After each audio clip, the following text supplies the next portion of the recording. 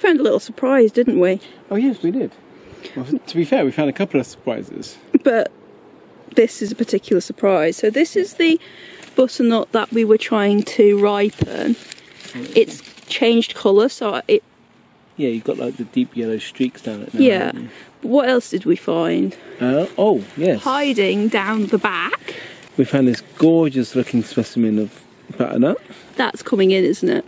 Yeah. This one, this one we're taking home with us because it looks very, Cool. very. Uh, um, yep, that looks good.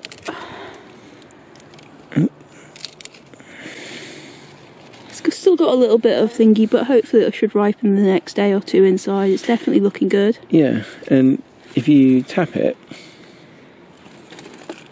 you got a nice hollow gourd sound to it. And what about this one? Are we taking it home? Uh, Or are we going to leave it for another week? um, Oh, pass that here, don't put that on the floor. So this is what happens when you don't notice them. yeah, they, they grow really well. I mean, it's sounding hollow, but it's just uh, Do you want to leave it a little longer? yeah, because it's still a bit green on this side. Okay.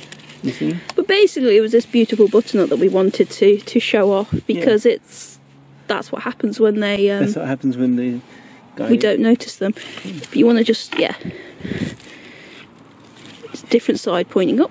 Yeah, because you see, you've got like the the deep yellow streaks, but then you still got Yeah, it's not quite ripe It yet. does, if you compare the two, then that obviously looks a lot further along. Okay. Bye for now. Bye. Bye for now.